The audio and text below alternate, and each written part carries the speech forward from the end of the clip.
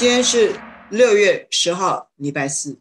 嗯，先来看看台湾啊，两百六十六个确诊，二十八死，到目前为止，死亡人数已经三百六十一，而且有大概百分之十二都是死了以后确诊。但台湾当政的人现在在忙什么呢？在忙。解盲，什么解盲呢？有一支台湾自己在做的疫苗，叫做高端啊，那个高端的疫苗今天要解盲了。那解盲这个是一件大事，呃，解盲如果成功，在安全性上，因为第二期人体实验是做安全性，安全性上没问题了，呃，关键数字都有了。哇，那个股票又要大涨，因为你很少会看到在全世界有哪一个地方的社会，你可以找来两千三百万人帮你做三期人体实验，人家所有的疫苗，你要做一期、二期、三期，你做到二期几千人，做到三期呢？哎，不过做几万人吧，人家做完三期，也就是三万多人、四万多人、五万多人。台湾呢，做完两期人体实验，而且两期人体实验只观察一个月，它这个等于是第二期人体实验的期中考，为期一个月。只观察这个疫苗在你身体里面一个月，会不会不会有安全性的顾虑？有没有人身体会不会不舒服？这个实在太冒险。它这个是重组蛋白，这个技术算是比较新的技术。你只观察一个月，你只观察几千个人，啊，你就说哎很安全，这个不太对吧？呃，台湾前疾管局局长苏益仁呢？苏益仁这个总没有人说他哎，他是蓝的，或者说他是哎红的吧？他今天就站出来讲，我想他是有勇气才这样讲，就是。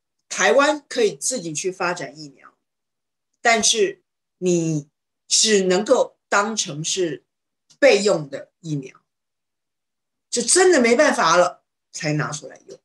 你还是要努力去找，为什么就很简单？不管是大陆的、欧美的，人家在国际上可以跑的疫苗，都是做完三期人体实验。都是 WHO 认证的，你台湾的是个什么东西？你就这么简单？你台湾的是个什么东西？我真的要严厉的警告。我们前两天已经讲过了，黑水疫苗，这黑水这个恶名昭彰的、双手显灵灵的公司，他在台湾做疫苗，得到蔡英文政府一路亮绿灯。我也不想挡人财路，但是你好歹把台湾人当人看。做完人体实验第三期规规矩矩之后，你再给我跑出来，你爱上市上市，爱出口出口，我不管。你放任着二期，你。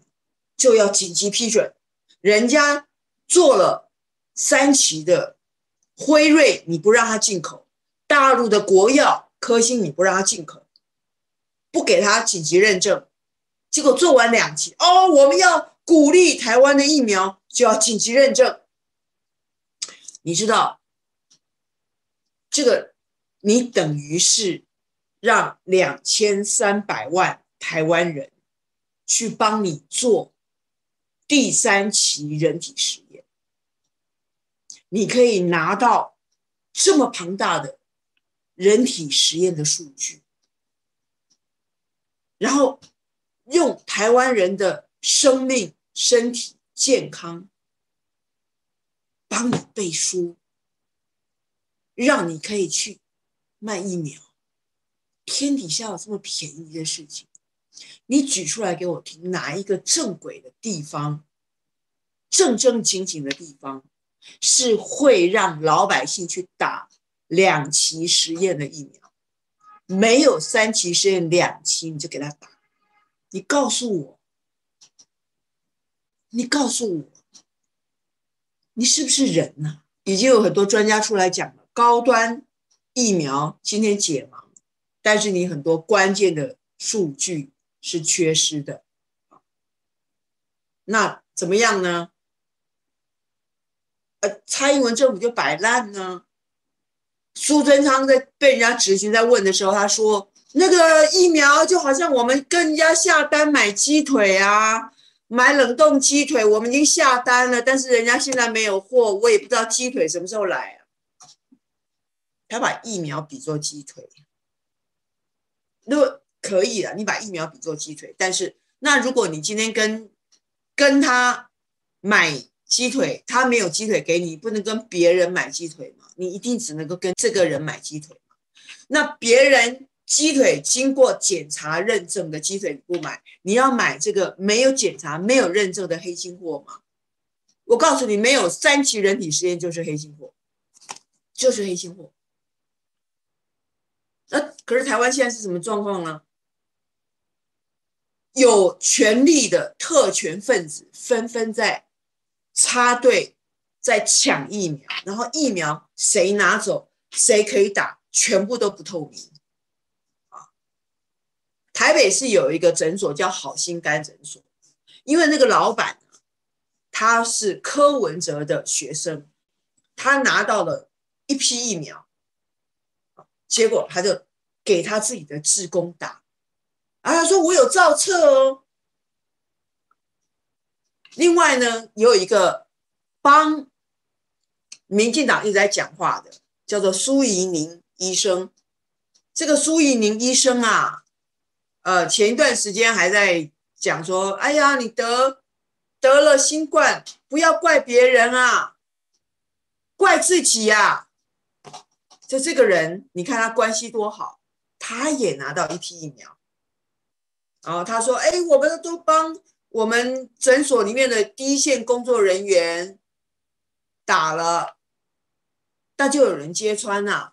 现在很多医院的诊所都把自己的亲朋好友连夜赶快造册，说假装是自己的员工，因为你只要说，哎，我我用 Excel 打一打，说你是我员工，你就可以打疫苗。大家都在想方设法。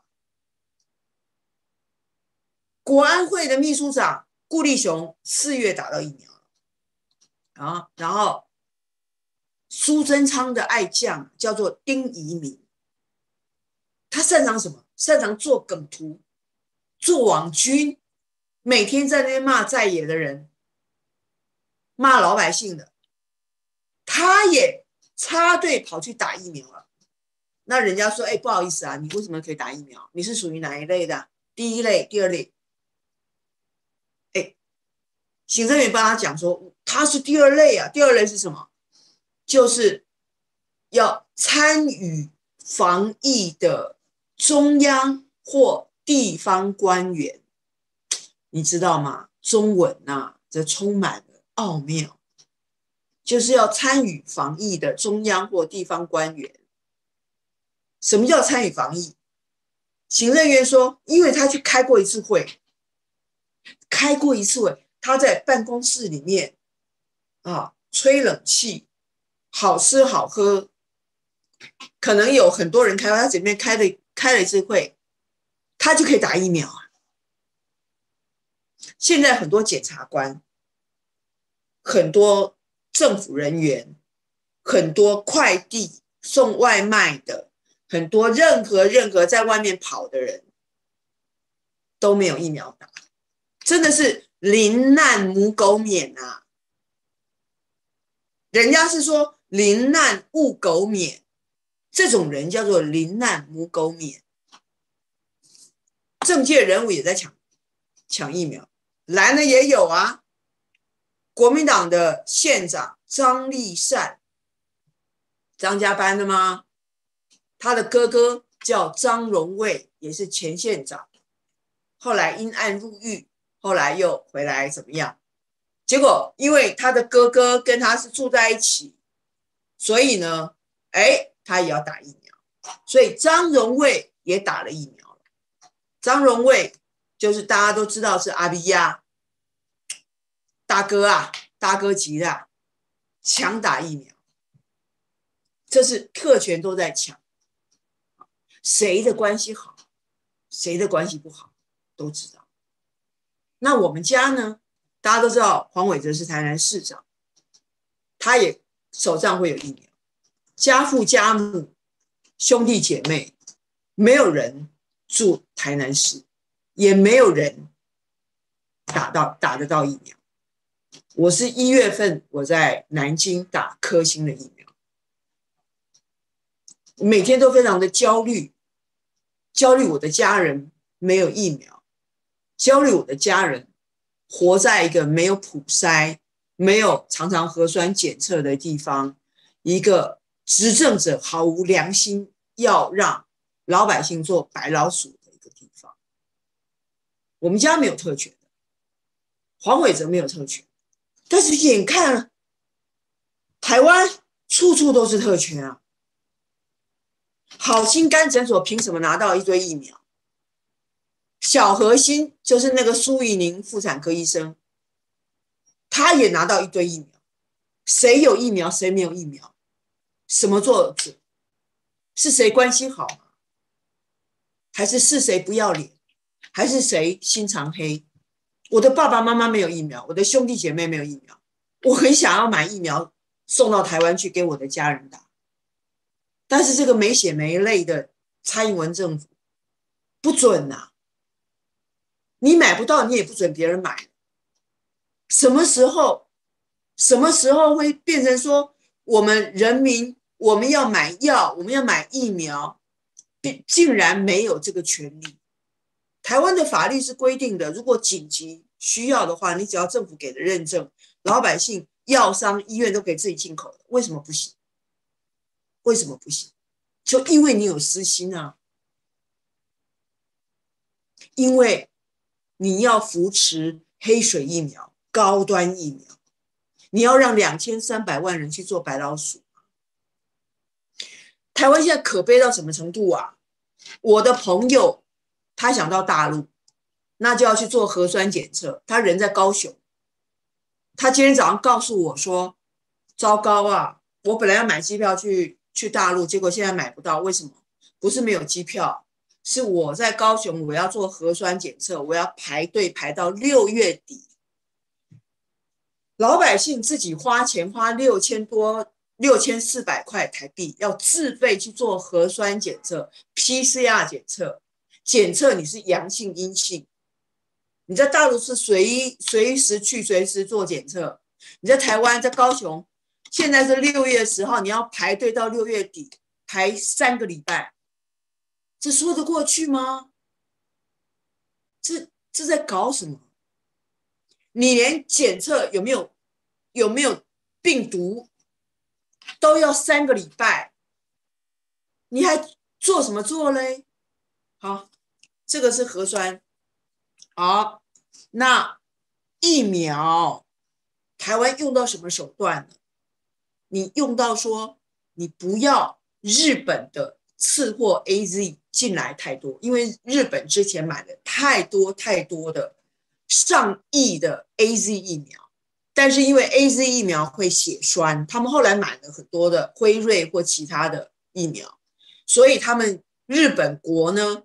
公费帮老百姓打疫苗就不打 A Z，所以 A Z 买太多了怎么办？就希望做公关，我们自己不要的东西比较烂的丢出去做公关，这个也可以理解。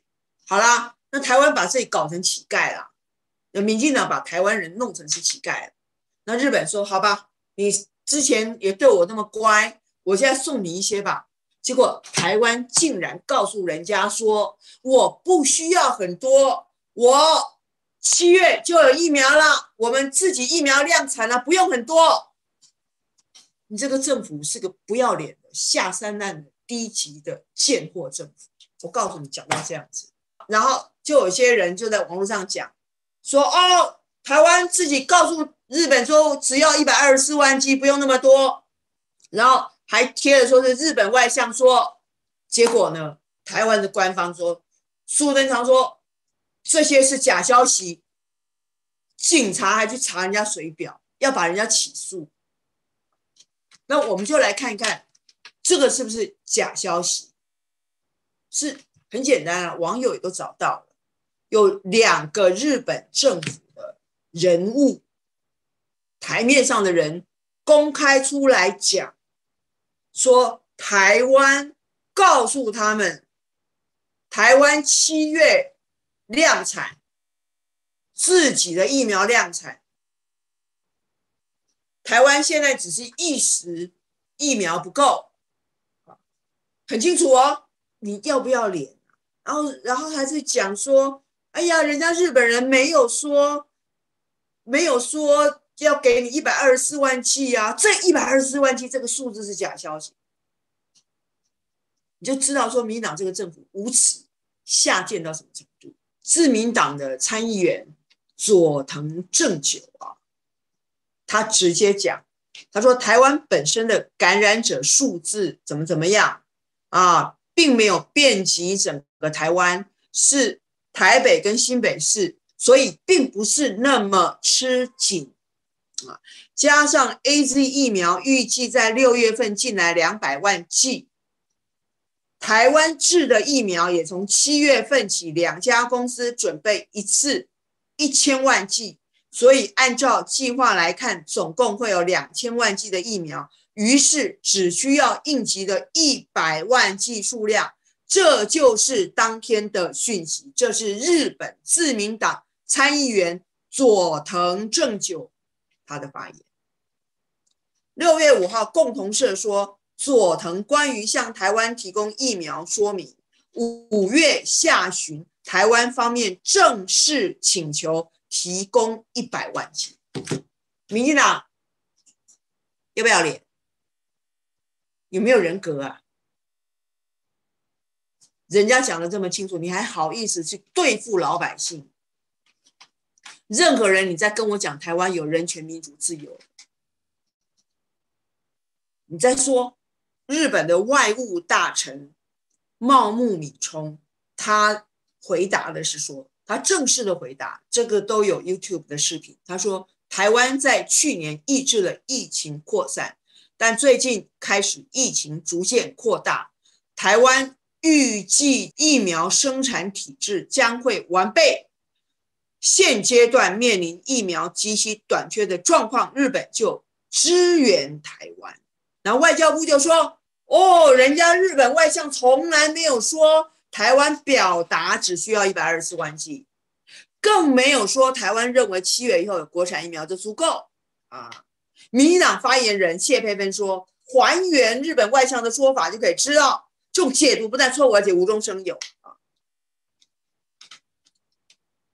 苏贞昌说：“如果政府相关人员或机构甚至或机构涉及，一定会查办。如果民众传播不实讯息，也会依法相负担相关的责任。”所以，日本的自民党参议员已经把消息讲得很清楚，是你台湾自己说怎么样？日本说了，日本外相也说的很清楚，台湾自己说有量产，还要扯谎到。这种地步，而且你怎么会胆敢就说七月就可以上来？好大的胆子，好黑的心肠！六月八号，高端疫苗涨停两百二十八元锁死，排队要买的买单超过六千张。六月九号，第二根涨停。六月十号，也就是今天，因为。今天解盲，所以股市暂停交易。啊，跟你讲，我们要相信党啊！民进党说他一定解盲成功，一定会打在台湾人身上。你敢不打吗？病毒在台湾到处跑，外国的疫苗进不来，大陆的疫苗进不来，你没有疫苗，你总得正常生活。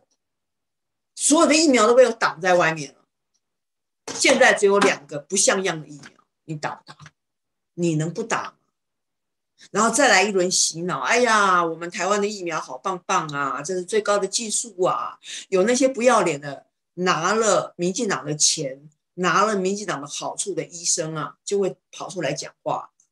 我我再再一次的比对一下，上一次在那边骂老百姓说，不要怪别人得了新冠，不要怪别人。那个苏怡宁跟这一次有了非常好的关系，所以你可以拿到新冠疫苗的苏怡宁医师是不是同一个人？如果不是同一个人，那就是巧合；如果是同一个人，那我们就了解这个规律啊。你们怎么可以怪政府？就像晚节不保的曹新成。突然间跑过来说：“我们应该对防疫中心要歌功颂德。”我比较感谢啊，原来曹新成就是投资基亚疫苗的人。那么基亚疫苗呢，后来就变成高端疫苗，懂了吧？一切，一切的一切，都是利益啊！有奶就是娘啊！我不知道谁哦。我不知道谁是有奶就是娘，反正不是我黄志贤，但是有太多人啊，这些人这些年来认识的太多人，啊，看到太多人的嘴脸变幻莫测，非常有趣。高端疫苗解盲，黑水疫苗就是连雅也要解盲，我们就来好好的看。台湾有没有人会反抗？有没有人会坚持自己的生存权？就我觉得很难过的是，很多我们从小一起长大的朋友，也都是高级知识分子，不是医生就是律师，要不然就是博士，都是十几岁就认识的朋友，各个。在专业上都比我了不起太多，但有很多就是坚定的台独支持者。这是这让人难过的是，这么多这么明显的事情，全世界做疫苗就没有人做到二期就跑出来逼老百姓打的，逼两千三百万人打，但这一群医生、律师、博士还是要坚持说。台湾好棒棒，我支持蔡英文，还是可以没有良心。我有有时候在想，朋友跟同学啊，价值到底在哪里？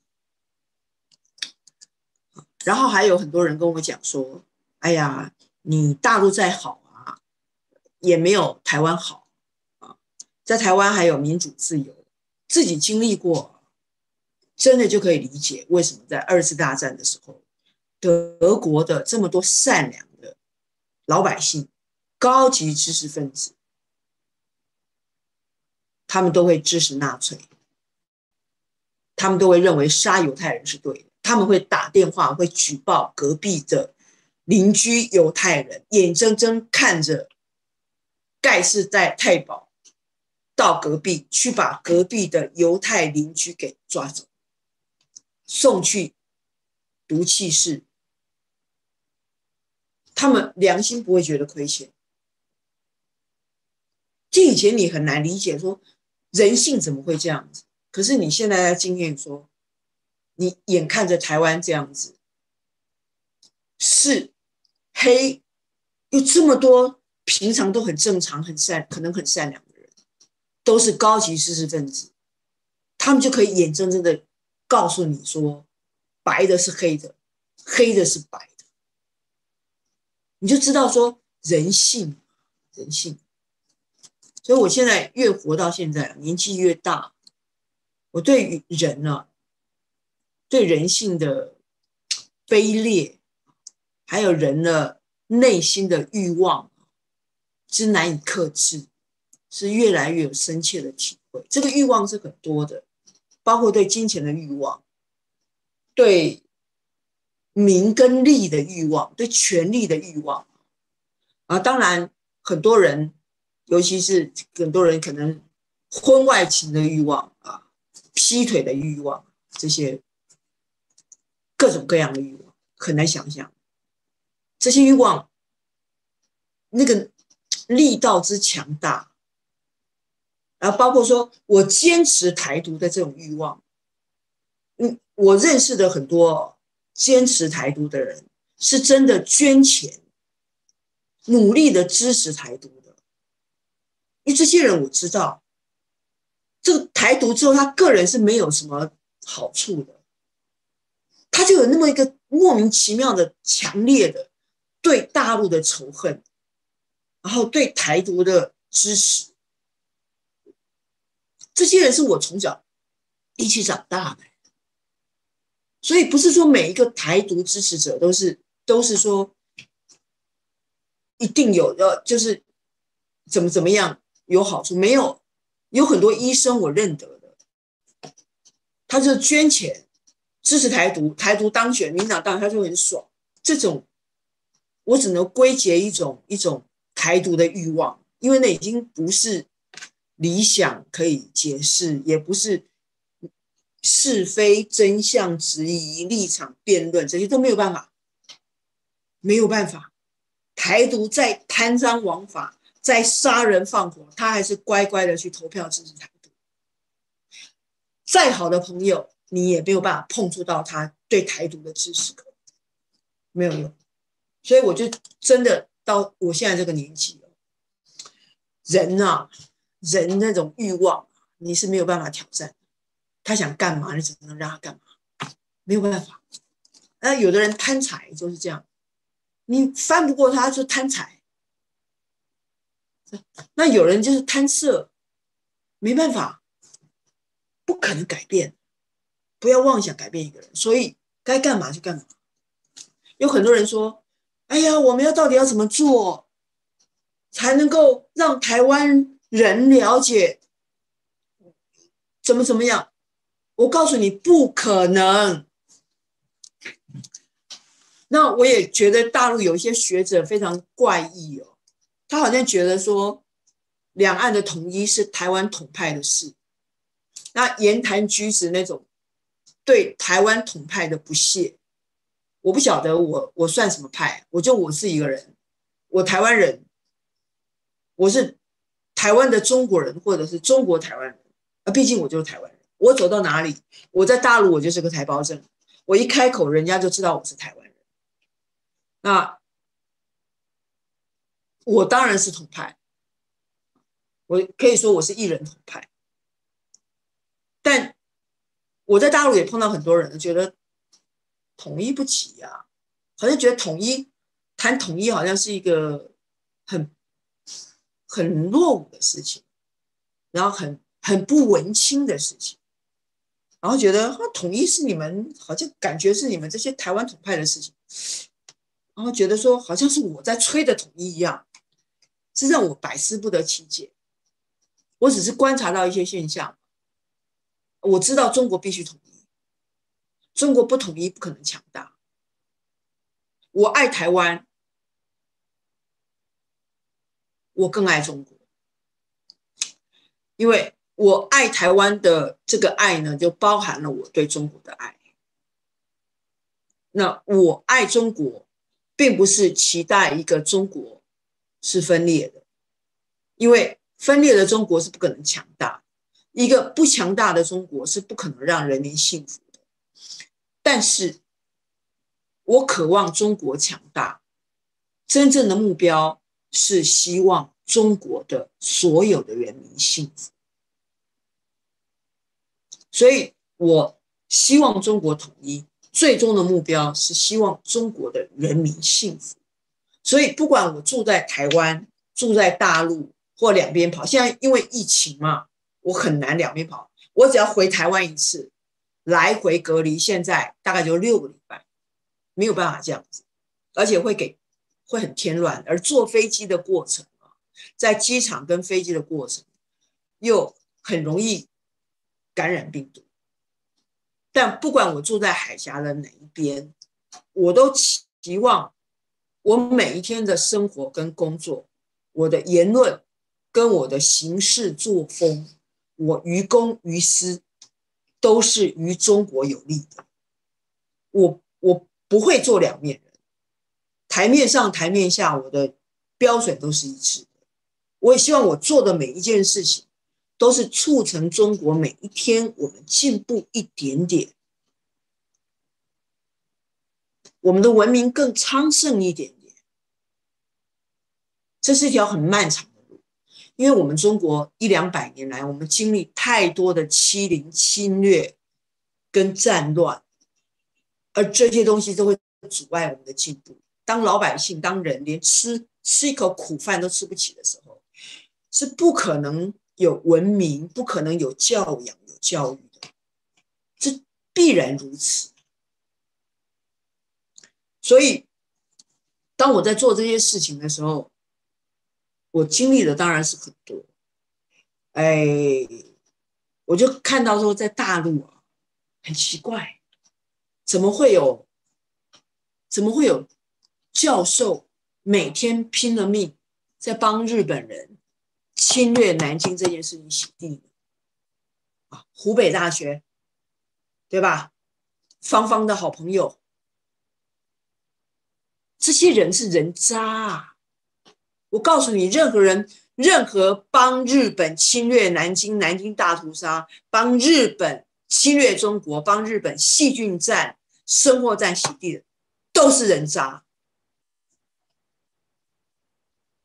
这些人在中国的大学当着教职，帮日本人洗地，你是不是人呢？你可以不爱中国没关系，真的。但你起码得当个人吧，这些人都不是人。我今天还是不想讲名字。其实以前这些人我都被我骂过，明天再来讲名字，好好的念一下。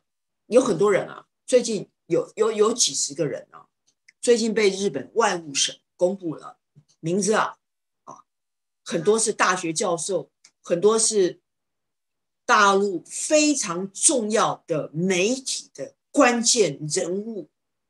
有专栏的，我在媒体都没有专栏，我我算什么？他们有些人呢是在大学里面重量级的教授，啊，日本人给他们一点钱，那他们都会相应的写一些赞赏日本的文章，肯定日本的文章，或者说比较中日为什么日本那么好，或者是怎么样的这些文章，表面上看起来都没有问题。那当然，有些人会讲说，第一个，日本为什么要公布这些名单？第二个，这一点点钱就可以收买这些人吗？那我要讲一般的运作，你想想看，真正的情报细胞是不会公开的。像大陆最近破获了有在日本的大学任教的中国人。做日本的间谍，有移民到澳洲的女性主主播，后来在央视当主播做间谍，这种叫做间谍。间谍是最严重的，轻一点叫细胞。细胞有的是公开的，有的是不公开的。细胞做的事情呢，就比间谍轻一点，但是也是人家的人。再轻一点呢，叫做友好分子啊，就是日本外务省他所公开的，他可以表，他这个公开是一种表扬。那是因为大陆现在的舆论的气氛比较清醒。如果在五年前、十年前，你说美国的国务院、美国白宫公布一批，哇，这白宫或国务院在中国大陆认为有一批学者或者是作家或公知是白宫所肯定的，哇，那是何等光宗耀祖啊！同样的概念。所以很多人说，为什么日本外务省要帮我们公布汉奸给我们看呢？哎，这个不能够当做是汉奸的。你只是要了解人家日本是怎么样去运用人家的钱，人家是怎么样的努力去裂解中国，去努力分化中国，努力把自己的观念。强加在中国的手上，有多多少中国人到现在真的？你去做民调，有多少中国人是相信日本的？有多少中国人认为日本就是比中国好？我绝对是了解日本。日本在很多领域上，很多文化，很多什么，确实是有它的成绩。日本做的很多东西确实是好的。不要抹杀，但是那跟全面的媚日是完全不一样的。好，再来第三个，有多少人，有多少中国人是一点都不在乎日本侵略过中国的，而且不跟中国道歉，这是我最介意。前两天我看到网络上，大陆的网络上有两有两个诶年轻人跑到日本的靖国神社去拍了。偷拍，让我们看到靖国神社里面的状况。它里面还有介绍，讲到二次大战史，甚至讲到马关条约，讲到日清战争、中日战争，就是日本叫日清战争，全部当然都是日本的史观。日本是这样努力的灌输他们的右翼帝国主义的史观，而我们中国嘞？我们在乎吗？你在东北有多少东北人在乎东北做过日本殖民地？你在南京有多少南京人在乎日本侵略过南京？南京大屠杀在乎吗？特别是南京，如果南京人都不在乎，那中国跟日本的较量，中国必然会输。中国要赢，就是中国人自己要在乎。还有一个教授说，中国被日本在日本跟中国的战争没有在中国的土地上搞过细菌战啊！你等着，我以前讲过，你讲过很多次，我也知道你的势力很庞大，也有很多人警告我不要惹你啊，人家很有势力，势力庞大，为什么呢？我再讲一次，如果中国人自己不在乎，中国十四亿人口，而如果中国的江苏的南京人都不在乎南京大屠杀，中国跟日本的较量必然会输。一样的意思，在台湾，在台湾，如果台湾人会跪舔日本，到今天这种程度，历史的终结我就早就已经看清楚了。北约的秘书长。在见过拜登之后，他是公然说北约哦，欧洲北约，他公然说要，他讲了很多跟中国有关，他说要抑制中国经济发展，以及他抑制别的我不在乎，他说他要抑制中国经济，这个就叫做反人类。你欧盟里面的北约的秘书长，竟然你的目标是要抑制中国经济发展，就是要中国死。然后拜登说撤销对微信还有抖音海外版的禁令，但是他有一个新的一个行政命令，是要求美国商务部要对所有美国的竞争对手要都要检查。我就一句话：特斯拉？人家审查微信、抖音，或人家审查任何在美国是美国的竞争对手，人家就要严格审。特斯拉、苹果呢？